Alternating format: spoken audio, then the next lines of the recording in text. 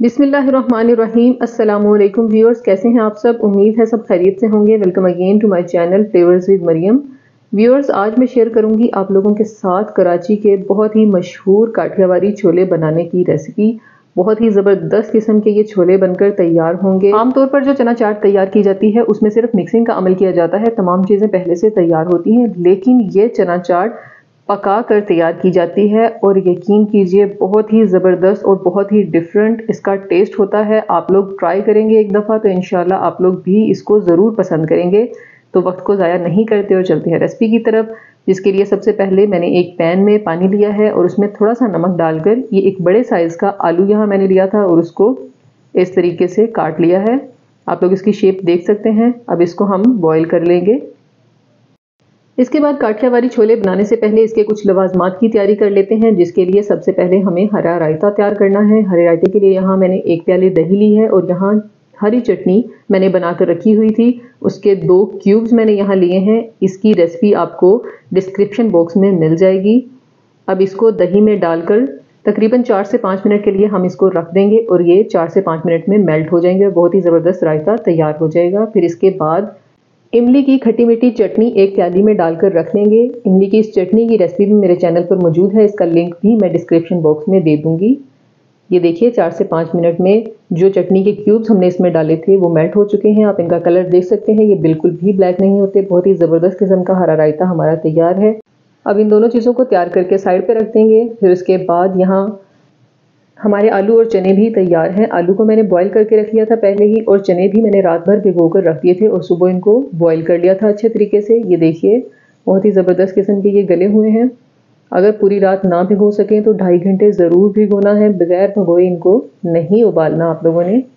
इसके बाद थोड़ा सा पानी भी इसमें मैंने रखा है। इसके बाद एक कढ़ाई में दो कप पानी लेंगे और जब उसमें बॉयल आने वाला हो तब उसमें कुछ स्पाइसेस ऐड करेंगे, जिसमें वन टीस्पून भुना कुटा ज़ीरा जाएगा वन टीस्पून इसमें सूखा धनिया पाउडर जाएगा वन टीस्पून पीसी हुई लाल मिर्च जाएगी वन टीस्पून कुटी हुई लाल मिर्च और नमक, हँसते ज़रूरत आप लोग शामिल कर लीजिएगा। अब इन तमाम चीज़ों को हम पानी में शामिल कर देंगे और इसमें बॉयल आने देंगे। फिर इसके बाद अब इन तमाम स्पाइसेस को हम मिक्स कर देंगे और जो चने हमने बॉईल करके रखे हैं, उनको पानी के समेत इसमें शामिल कर देंगे। ताकि वो इन स्पाइसेस के साथ थोड़ी देर पकें और इनका जायका जो है वो आपस में रच बस जाए।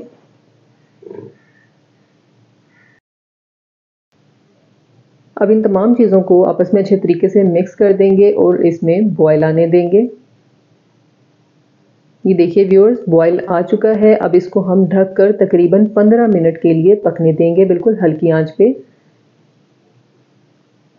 इससे क्या होगा कि जो स्पाइसेस हमने डाले हैं, उनका कच्चापन भी ख़त्म हो जाएगा और चनों के साथ इनका जायका जो है वो अच्छे से मिक्स हो जाएगा। ये देखिए, पंद्रह मिनट गुजर चुके हैं। अब इसके बाद हम इसमें आलू भी शामिल कर देंगे जो हमने बॉयल करके रखे थे। फिर इसके साथ ही हम इसमें one tablespoon tomato ketchup add कर देंगे। और फिर इसके बाद वन टेबल स्पून इसमें इमली का पल्प ऐड करेंगे। इमली की जो चटनी मैंने तैयार की थी, उसका लिंक मैंने डिस्क्रिप्शन बॉक्स में दिया है। ये वही चटनी मैंने इसमें शामिल की है। फिर इसके बाद तकरीबन वन टीस्पून इसमें चाट मसाला शामिल किया है मैंने। और वन टीस्पून ही इसमें हम चीनी शामिल करेंगे। इससे इसका टेस्ट बहुत अच्छा बैलेंस होगा। फिर इसके बाद यहाँ मैंने हाफ़ टेबल स्पून कॉर्नफ्लोर लिया है और उसको थोड़े से पानी में मिक्स कर लिया है। अब इसको हिलाते हुए हम चना चाट में मिक्स कर देंगे। इससे पानी में थोड़ी सी थिकनेस आ जाएगी। बहुत ज़्यादा थिकनेस नहीं चाहिए, बस हल्की सी थिकनेस चाहिए हमें। अगर आपकी रिक्वायर्ड थिकनेस आ जाए तो आप लोग कम कॉर्नफ्लोर भी ऐड कर सकते हैं, या अगर ज़रूरत हो तो ज़्यादा भी ऐड कर सकते हैं। अपनी कंडीशन के हिसाब से एडजस्ट कर लीजिएगा।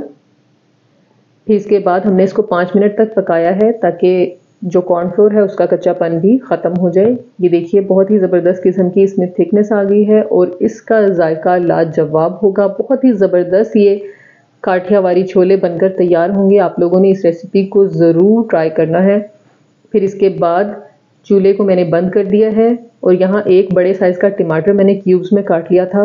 वो मैंने इसमें शामिल किया है। थोड़े से मैंने बचा लिया है गार्निशिंग के लिए। इसी तरीके से एक छोटे साइज़ की प्याज ली थी, उसको भी मैंने इसमें शामिल कर दिया है, हरा धनिया इसमें शामिल किया है। फिर इसके बाद इसमें थोड़ी सी हरी मिर्चें शामिल की हैं, दो से तीन बारीक काट कर अपने टेस्ट के हिसाब से कम या ज़्यादा भी आप लोग कर सकते हैं। अब इन तमाम चीज़ों को अच्छे से मिक्स कर देंगे। इसमें किसी किस्म का ऑयल ऐड नहीं किया गया, ये बहुत ही हेल्दी बहुत ही ज़बरदस्त किस्म की चना चाट बनकर तैयार होती है। अब इसको डिश आउट करते हैं। ये देखिए व्यूअर्स आप लोग इसकी लुक चेक कीजिए। बहुत ही ज़बरदस्त, बहुत ही यमी ये बनकर तैयार हुए थे। इस बात का अंदाज़ा आप लोगों को तब होगा जब आप लोग खुद इस रेसिपी को ट्राई करेंगे। Do try it on my recommendation अब इसके बाद यहाँ इसकी हम कुछ गार्निशिंग करेंगे, जिसके लिए कुछ इसके लवाजमात जो हमने पहले से तैयार कर के रखे थे, जिसमें हरा रायता सबसे पहले शामिल करेंगे, फिर इसके बाद कुछ टमाटर डालेंगे इसके ऊपर, और फिर इसके बाद इसके ऊपर डालेंगे हम प्याज। फिर इसके बाद थोड़ा सा हरा धनिया इसके ऊपर डालेंगे। फिर इसके बाद थोड़ी सी हरी मिर्चें शामिल करेंगे थोड़ा सा चाट मसाला इसके ऊपर छिड़केंगे। और फिर इसके बाद इसके ऊपर डालेंगे हम पापड़ी।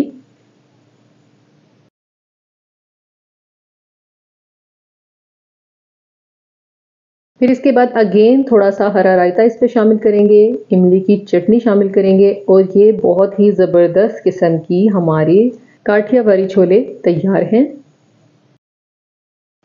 व्यूअर्स अगर आपको मेरी ये रेसिपी अच्छी लगी हो तो इसको थम्स अप दीजिएगा और अपने फ्रेंड्स और फैमिली के साथ शेयर करना मत भूलिएगा। और अगर आप मेरे चैनल पर नए हैं तो मेरे चैनल को सब्सक्राइब कर दीजिए। ये देखिए व्यूअर्स थोड़े से मैं आपको बाउल में निकाल के दिखाती हूँ। बहुत ही ज़बरदस्त किस्म के ये काठियावाड़ी छोले तैयार हुए हैं। अगर आप लोग इसको थोड़ा सा पतला रखना चाहें तो थोड़ा सा पतला भी रख सकते हैं। क्योंकि ये जो काठियावाड़ी छोले होते हैं, ये थोड़े से सूप स्टाइल में बनाए जाते हैं। यहाँ मैंने बहुत ज़्यादा पतला नहीं रखा इनको। अगर आप लोग चाहें तो थोड़ा पतला भी रख सकते हैं।